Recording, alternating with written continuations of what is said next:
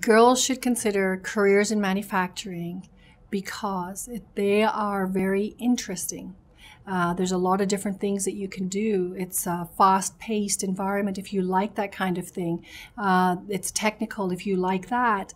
Uh, there's a lot of business aspects to it if you like that. So there's a lot of variety. You don't have to be, you know, that, that uh, mathematician, engineer, and that's all that you need to be. You can be many different things. Manufacturing has many different processes, as I, you know, there's all of these different departments, and then it can grow into corporate it can grow into more of a global career.